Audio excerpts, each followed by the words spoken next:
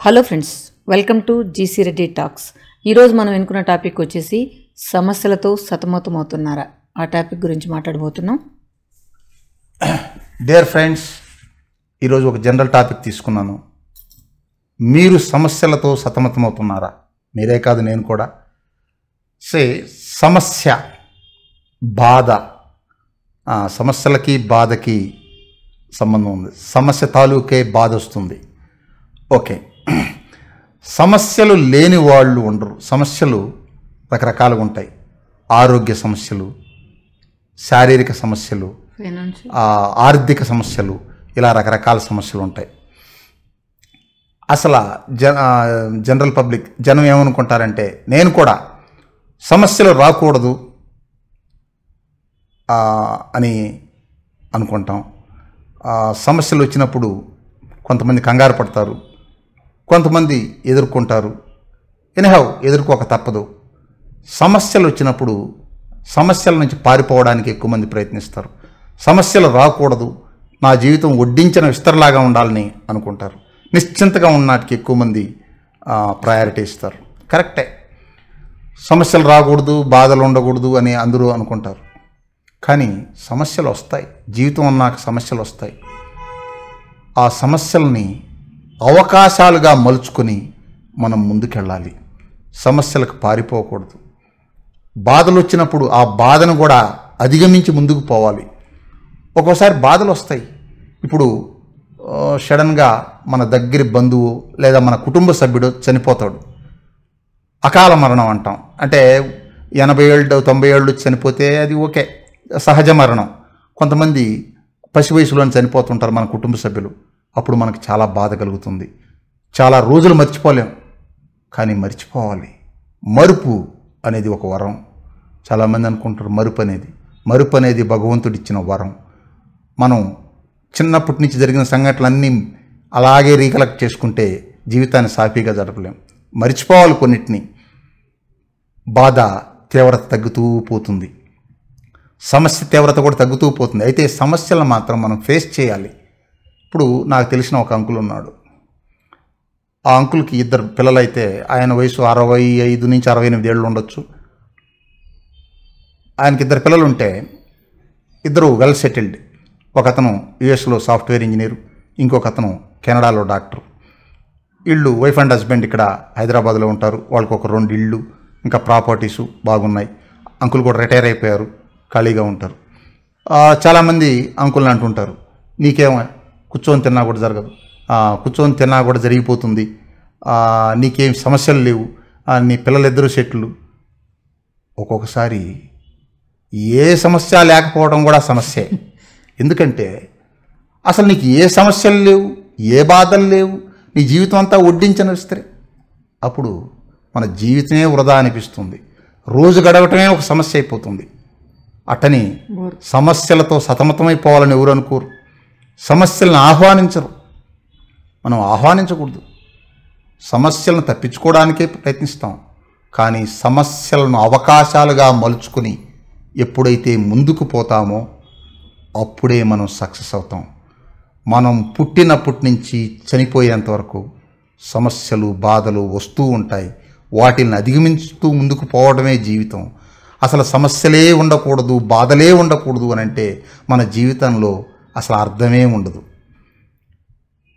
కొంతమంది బాధలు పడుతూ ఉంటారు. నాకు అది లేదు ఇది లేదు నాకు తండ్రి లేడు నాకు ఆస్తి లేదు నాకు ఇది లేదు నాకు సరైన జీవితం లేదు అని. అలాంటప్పుడు మనం ఏం చేయాలంటే బెటర్మెంట్ కోసం ప్రయత్నించాలి. కానీ ఒక్కొక్కసారి మనం సర్ది చెప్పుకునేటప్పుడు మనకన్నా ఎక్కువ బాధల్లో ఉండేవాళ్ళని మనకన్నా ఎక్కువ సమస్యల్లో ఉన్న వాళ్ళతో కంపేర్ చేసుకొని అతనికన్నా నేను బెస్ట్ అతనికి ఒక చెయ్యి లేదు అయినా ఏదో జీవనం సాగిస్తున్నాడు నాకు అన్ని అవయవాలు బాగున్నాయి ముందుకు పోతున్నాను అని కంపేర్ చేసుకోవాలి.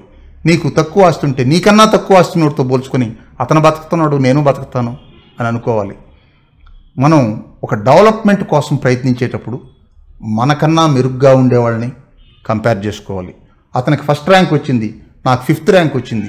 నేను కూడా ఫస్ట్ ర్యాంక్ తెచ్చుకోవాలని బెటర్మెంట్ కోసం ప్రయత్నించడం తప్పులేదు. మనం డెవలప్మెంట్ పాయింట్ ఆఫ్ వ్యూలో వెళ్ళేటప్పుడు మనకన్నా మెరుగ్గా ఉన్న వాళ్ళతో కంపేర్ చేసుకోవాలి. ఆ సమస్యలు బాధల్లో ఉన్నప్పుడు మనకన్నా తక్కువ ఉన్న వాళ్ళతో కంపేర్ చేసుకోవాలి. పలానా అతను ఉన్నాడు చూడు నాకన్నా సమస్యలు ఉన్నాయి అతనికన్నా నేను మేలు అని కంపేర్ చేసుకొని కొంత మానసికంగా సుస్థిరతను సాధించుకొని సమస్యలను అవకాశాలుగా మార్చుకొని ముందుకు పోవాలి. ఎవరికి లేవు బాధలు? ఎవరికి లేవు సమస్యలు? నరేంద్ర దామోదర్ మోడీ గారు ఉన్నారు. ఈ దేశానికి ప్రధాన అయ్యాడు జాతి గర్వించదగ్గ నాయకుడు. అతనికి బాధలు లేవా? అతను బాధపడుతున్నాడో లేదో నాకు తెలియదు కానీ అతనికి కుటుంబ జీవితం లేదు. ఏదో పసి వయసులో పెళ్ళయింది తర్వాత భార్యాభర్తలు విడిపోయారంటారు పిల్లలు లేరు. అతనికి ఇది ఉంది. సల్మాన్ ఖాన్ ఉన్నారు. Hindi super star. ఫిఫ్టీ ప్లస్లో ఉన్నారు. ఆ, సంవత్సరానికి రెండు వందల కోట్లు సంపాదిస్తున్నారు. పెళ్ళి చేసుకోలేదు. పెళ్ళి వయసు దాటిపోయింది. పిల్లలు లేరు. కుటుంబ జీవితం లేదు. అంతెందుకు ప్యాన్ ఇండియా స్టార్. ఇటీవలే బాహుబలి హిట్తో మన ముందుకు వచ్చినటువంటి ప్రభాస్. ప్రభాస్ మంచి అందగాడు. మంచి ఆస్తి ఉంది. మంచి పేరుంది. మంచి ఫ్యామిలీ బ్యాక్గ్రౌండ్ ఉంది. నలభై ఏళ్ళు వచ్చాయి. ఇంతవరకు పెళ్ళి కాలేదు. సగం జీవితం అయిపోయింది అతనికి. సగానికి పైగా జీవితం అయిపోయింది. ఓకే పెళ్ళి కాకపోవడానికి చాలా కారణాలు ఉంటాయి. కానీ అతనితో పోల్చుకుంటే మనం ఎర్లీ ఏజ్లో పెళ్ళి చేసుకున్నాం. పిల్లలు ఉన్నారు స్కూల్కి వెళ్తున్నారు. నేను ప్రభాస్ కన్నా కూడా ప్రభాస్ వయసు నలభై ఏళ్ళు నా వయసు ముప్పై ఏళ్ళు. అయినా పెళ్ళయింది ఇద్దరు పిల్లలు ఉన్నారు నాకు అంత ఆస్తిపాస్తులు లేవు అంత పేరు ప్రఖ్యాతులు లేవు. కానీ ప్రభాస్ కన్నా బాగున్నానని అనుకోవచ్చు అట్టని ప్రభాస్ నేను తక్కువ చేయటం కాదు. నలభై ఏళ్ళైనా అతనికి పెళ్ళి కాలేదు. ఇప్పుడు జయలలిత గారు ఉండేవాళ్ళు తమిళనాడులో. జయలలిత గారు శక్తివంతమైన నాయకురాలుగా ఎదిగి తమిళనాడు రాష్ట్రానికి పలుసార్లు ముఖ్యమంత్రి అయ్యి చివరి వరకు చనిపోయే వరకు ముఖ్యమంత్రిగా ఉన్నారు. కానీ ఆమెకి కుటుంబం లేదు. ఆమె తర్వాత వారసులు లేరు. అటనే ఆమె బాధపడుకుంటా ఉండుంటుందా? ఏమో బాధపడి ఉంటుంది అయినా ఆమె బాధల్ని సమస్యల్ని దిగమింగుకుని పటిష్టమైన నాయకురాలుగా కోట్లాది మంది ప్రజలకు సేవలు చేసింది. అలా మన ముందు చాలామంది ఉంటారు. ఇప్పుడు అంతెందుకు? ఒక స్టార్ ఉంటాడు. సూపర్ స్టార్ అవుతాడు. లక్షలాది మంది అభిమానులు. ఆ తర్వాత ఆ స్టార్డమ్ తగ్గిపోతుంది. సినిమాలన్నీ ఫ్లాప్ అయిపోతుంటాయి. ఫ్లాప్ అయిపోయినాక ఒరే ఒకప్పుడు నేను పదేళ్ళ క్రితం ఈ స్థాయిలో ఉన్నాను ఇప్పుడు ఏంది ఇట్టని? అతను బాధపడుతుంటాడు. అతనికి తగ్గ బాధ అతనికి ఉంటుంది. చంద్రబాబు నాయుడు గారికి బాధ లేదా? నలభై ఐదో సంవత్సరంలో ముఖ్యమంత్రి అయ్యాడు. ఇప్పుడు డెబ్బై సంవత్సరంలో ఒక చిన్న రాష్ట్రానికి ప్రతిపక్ష నాయకుడిగా ఉన్నాడు. ఎవరికి బాధ లేవు? ఎవరికి సమస్యలు లేవు? అందరికీ ఉంటాయి. అందుకే మనం సమస్యలను అవకాశాలుగా తీసుకొని ముందుకెళ్దాం. బాధల్ని మరిచిపోవాలి.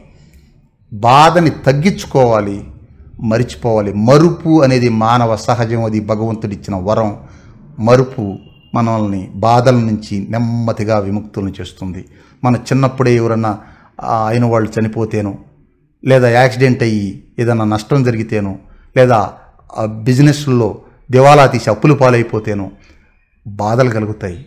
వాటిని నెమ్మదిగా అధిగమిస్తూ ముందుకు వస్తాం ఈ విధంగా అయితే సమస్యలు వచ్చినప్పుడు కంగారు పడిపోయి ఆ ఆలోచనలతో డిప్రెషన్లోకి వెళ్ళకుండా సమస్యలు వచ్చినప్పుడు ఇతరుల సపోర్ట్ కూడా తీసుకోండి. ఒక్కొక్కసారి సమస్యలతో మనం సతమతమవుతున్నప్పుడు పక్క వాళ్ళ యొక్క అంటే కుటుంబ సభ్యులు కావచ్చు బంధుమిత్రులు కావచ్చు ఇంకా ఇరుగు పొరుగు వాళ్ళు కావచ్చు వాళ్ళ యొక్క సహకారం కూడా కనీసం మాట సహాయం కూడా మనకి లాభం చేస్తుంది. సో మంచిగా ముందుకు పోవాలని కోరుకుంటూ సెలవు తీసుకుంటున్నాను ఓకే ఫ్రెండ్స్ విన్నారు కదా? సో మీకు సమస్యలు వస్తే దాన్ని ధైర్యంగా ఎదుర్కోవడానికి కావాల్సిన శక్తిని తీసుకుని ముందుకు పోవడానికి ప్రయత్నించండి. కానీ ఎప్పుడు కూడా బ్యాక్ అవ్వద్దు. సో అందరికీ సమస్యలు ఉన్నాయి. ఎంత ఫైనాన్షియల్గా స్టేటస్ ఉన్న వాళ్ళకి కావచ్చు గుడిసులో ఉన్న వాళ్ళకి కావచ్చు అందరికీ ఎవరికి దగ్గర బాధలు వాళ్ళకు ఉంటూనే ఉంటూనే ఉంటాయి. వాటిని ఎదుర్కొంటూ పోవడమే మనం చేయాల్సిన పని. Okay friends thank you